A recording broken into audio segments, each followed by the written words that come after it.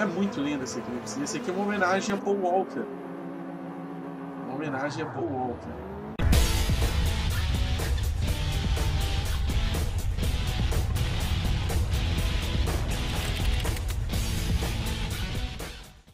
Começando mais um Gameista, eu sou Fábio Goulart, filósofo da página filosofiahoje.com e no vídeo de hoje vamos continuar aqui Forza 5, fazia um tempão que eu não gravava esse jogo, então vamos lá, tem comentários do Top Gear, a gente vai campeonato por campeonato e vamos conversando e você também pode pedir um carro, um carro aí que você goste, pede que eu faça um vídeo com ele.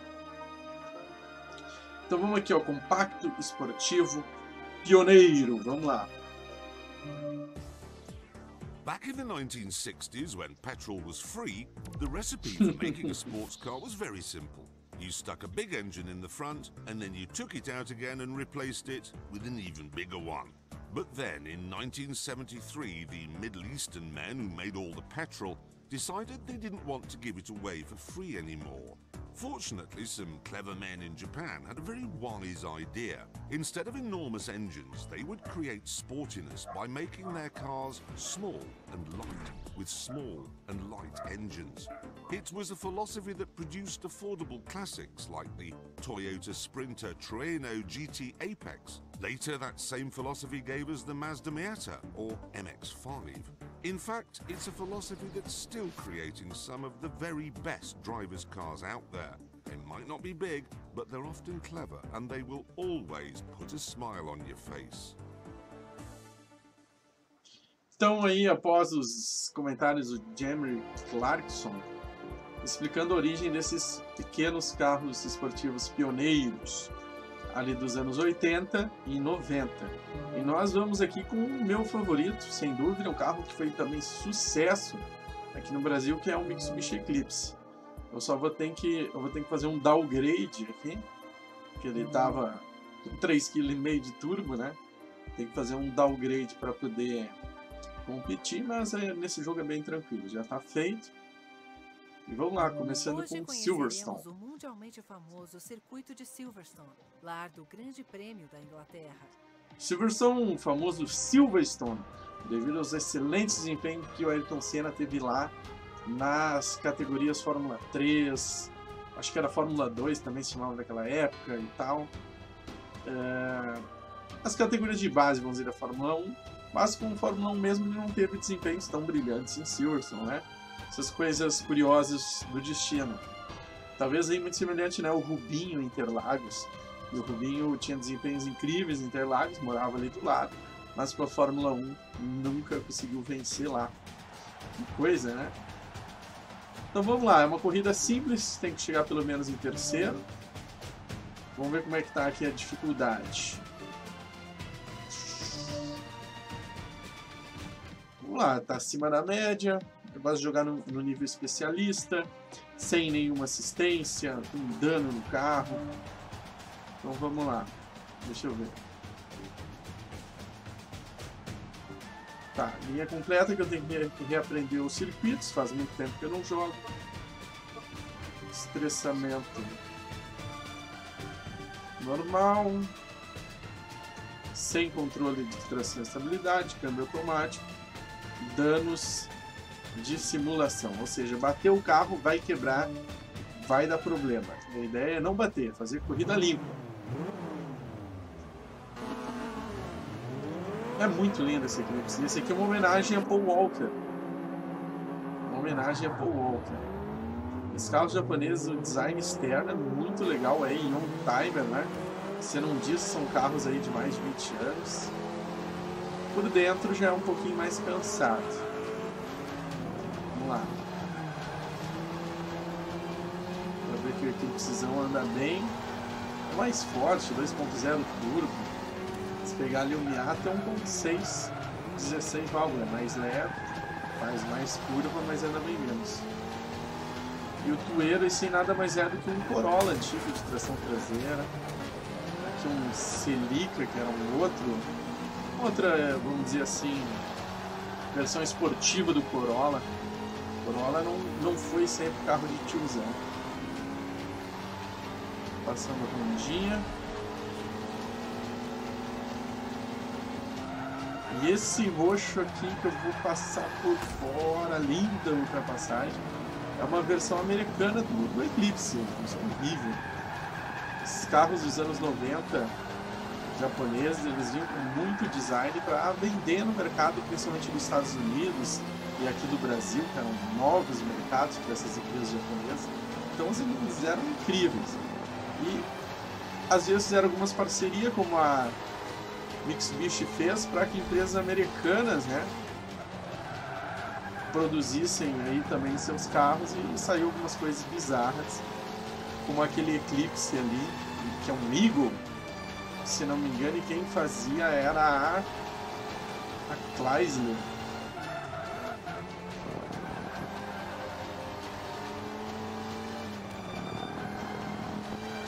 Estamos segundo, é só duas voltas.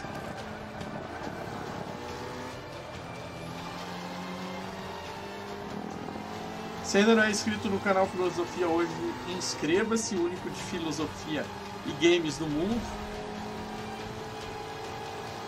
Já é inscrito, dá o like. Comenta aí se gosta também de carros. Eu sou apaixonado por carro. O jogo de corrida também para automobilismo. E vamos ver, vamos ver quem é que está em primeiro ali. Vamos ver se eu vou buscar. Acho que não, que já está no finzinho da corrida. Acho que eu vou ficar com o segundão mesmo. Mas tá bom, tinha que chegar entre os três primeiros, né? Cumprimos aqui a nossa missão.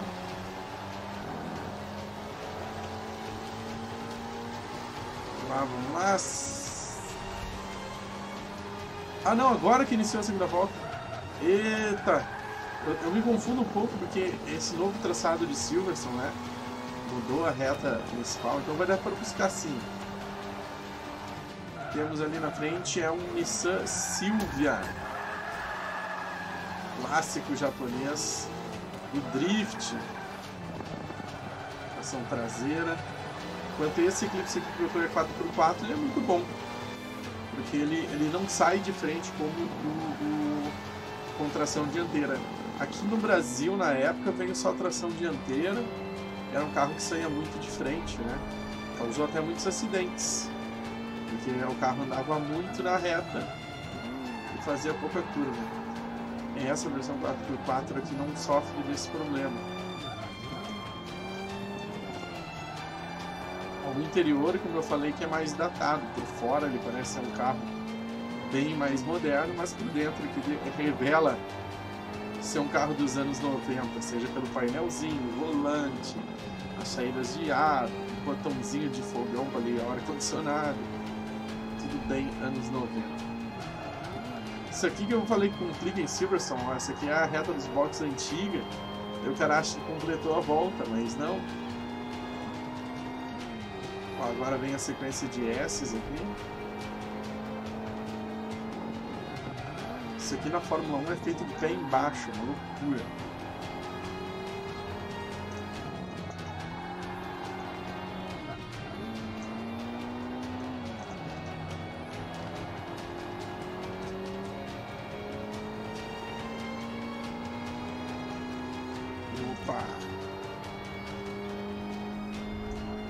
Quase deu ali uma escapadinha de traseira.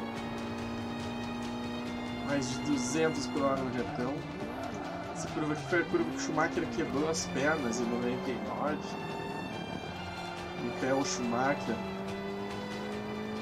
passou reto ali, bateu, quebrou as pernas. E só por isso que não foi campeão naquele ano, ele seria então um heptacampeão. Não fosse por isso. Agora que sim, voltei na reta. Vitória! Corrida 1 concluída.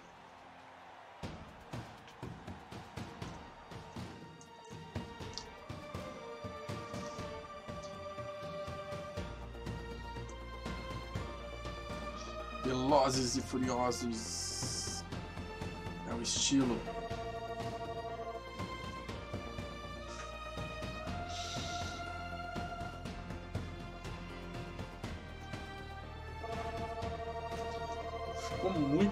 Com esse rodão. E esses carros eles eram tunáveis, né? tunar vai ficar mais bonito. Claro que gostei desse estilo. Vou curtir. Então agora vamos para um track day, ultrapasse máximo de carros na pista. Que é estranho, né? Porque normalmente os track days é fazer o menor tempo. E aqui é ultrapassar carros, carros que provavelmente estão mais lentos.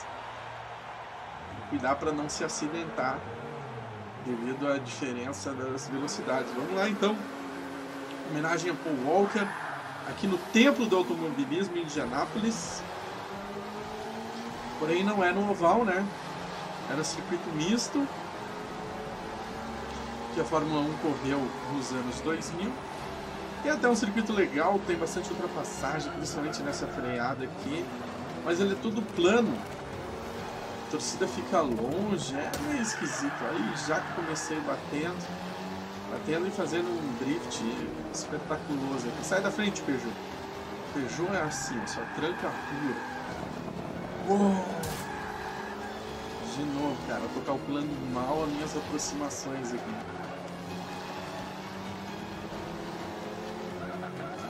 Vai por fora. Só Peugeot, hein? Acho que era um Honda Fit. Né?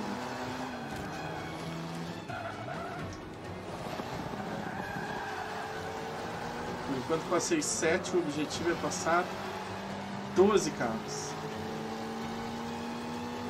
que é onde é realizados os arrancadões de circuito.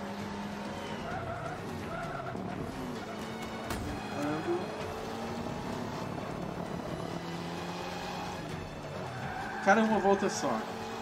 Mas acho que tá tranquilo. Preciso passar mais dois e estão aqui na minha frente. Foi um. E o outro já vou buscar aqui antes de entrar na parte do oval. Olha só que legal que esse aqui é. Você vem já pé embaixo, entra no oval, pé embaixo. E agora é. Seja o que Deus quiser.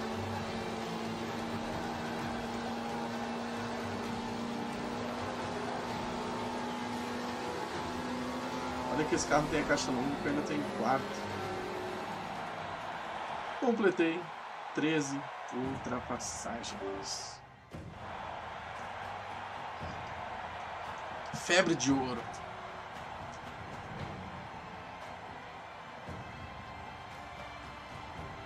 Tá curtindo aí o Forja, já larga o like. E vamos sem mais já para a próxima corrida.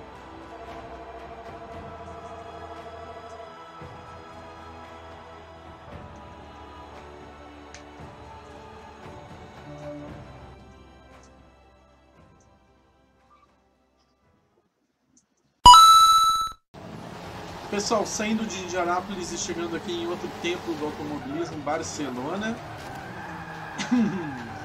Local da pré-temporada da Fórmula 1. Que é uma pista chatinha de ultrapassar. O circuito é muito bom, muito rápido. Subida, descida, curvas de alta, média e lenta. Então é uma pista que testa carros e pilotos, mas é bem difícil de ultrapassar ao contrário ali da, da pista de Indianápolis, que não testa tanto carros e pilotos, mas tem bastante lugar de ultrapassagem, aqui a coisa é mais tranqueira. Primeira volta eu estou em sexto, tem um Miata ali na minha frente, também conhecido como MXC. Já passei na força bruta aqui. Passei nada, né? O cara saiu melhor na curva, porém agora vai porque ficou trancado passar entre os. Eu tô, tô, tô piloto estocado, batendo todo mundo. NASCAR Racer Drive. Esse eclipse é bom, cara. Ele chega até a sair de traseiro um pouquinho. Bom de curva esse eclipse.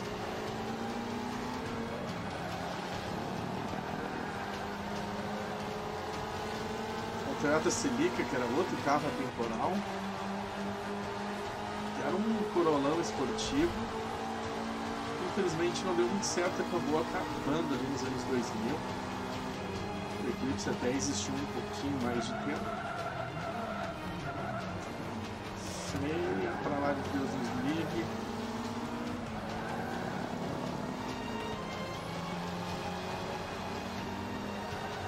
Agora já é disputa da, da primeira colocação. Essa eu vou, vou vencer.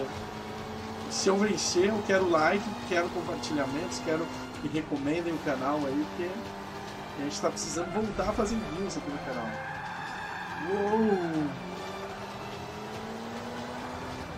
Ó, é, é, o, é o Eclipse, é o mesmo Eclipse, só que aquela versão americana, que é feiosa pra caramba. Então vai vencer o piloto mais habilidoso aqui. Tomara que seja eu.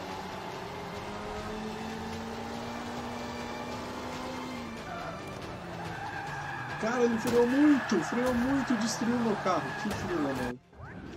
Que filho da mãe, se não tivesse recurso lutar no tempo, iria acabando pros dois.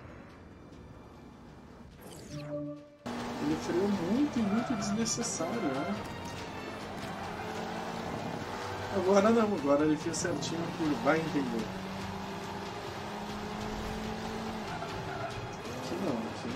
Pôr por dentro. No final dessa reta sim.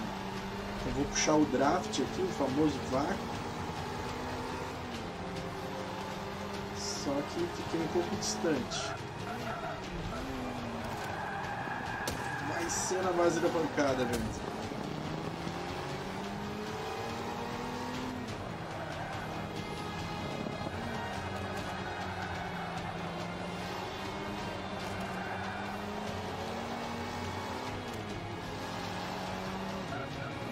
Essas curvas de lenta aqui na parte do estádio, que são novas, melhoraram muito o traçado e as possibilidades de ultrapassagem aqui em Barcelona.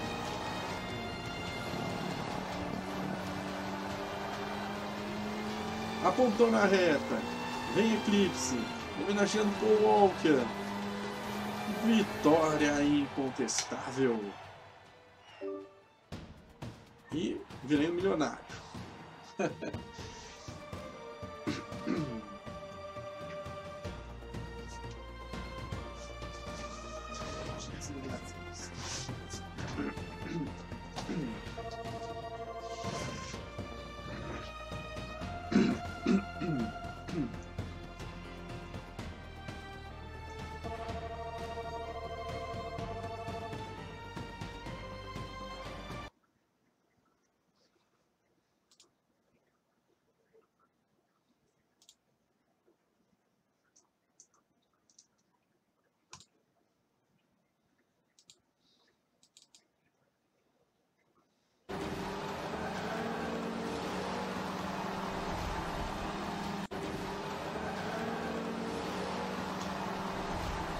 Então vamos lá, galera, mais uma, uma última corridinha aqui do Eclipse Mitsubishi homenagem a Paul Walker, Velozes e Furiosos. E agora circuito de rua na cidade de Praga, que tem um visual lindíssimo nesse jogo, talvez é a pista mais caprichada. Então, reparem aí, olha lá o cenário da cidade no fundo, o lago. Caprichadão, hein? Um jogo de 2000 e 13, que é esse jogo, espetacular.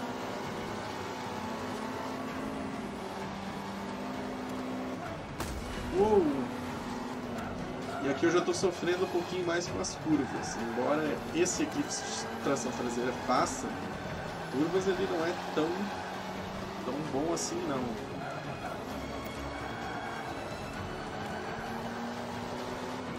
Eclipse, os que vieram no Brasil eram tração dianteira andavam muito, corriam que eram foguete esses carros, mas eram ruim de curva.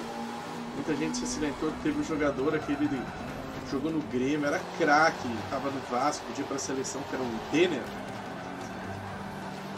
Acabou se acidentando no acidente do Eclipse e vindo a óbito, né? Vindo a falecer.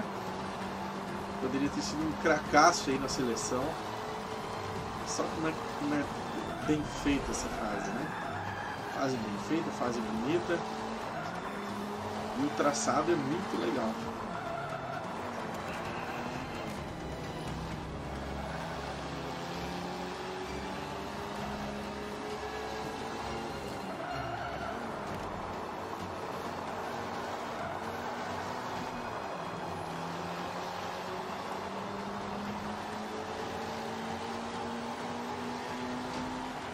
Vamos lá, última volta, tem que buscar o roxinho, que eu acho que é aquele, aquele eclipse americano.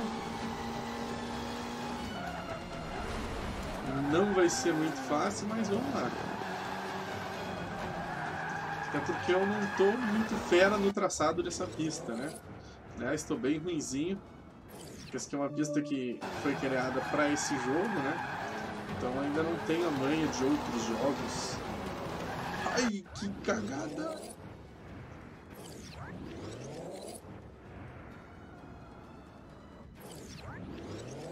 ruim que daí tem que voltar, ele volta muito ou volta pouco. Tinha que ser mais preciso esse sistema da...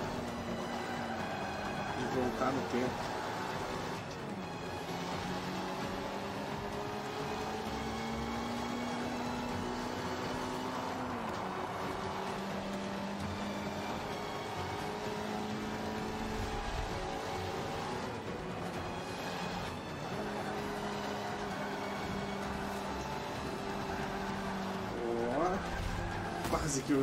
Tava fazendo a curva muito rápido, eu senti que ia dar problema. Agora eu, eu tô com o traçado ideal só para indicar a freada, né? Não a pista toda. Tô achando melhor de jogar assim, mais desafiador.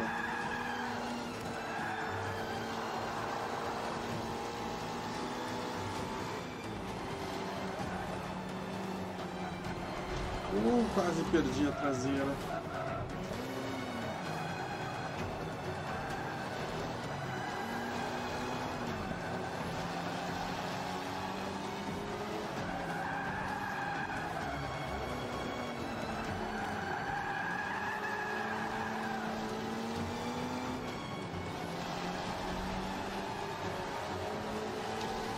Vai dar não, hein? Vou tentar.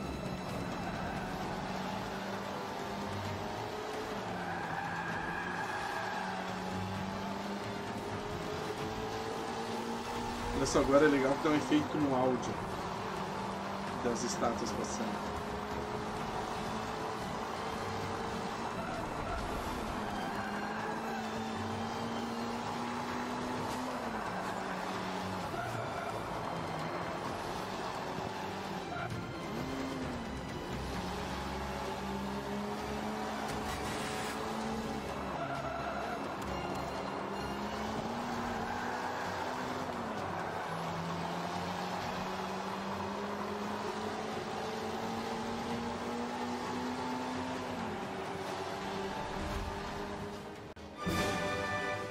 Essa, infelizmente, não deu para vencer.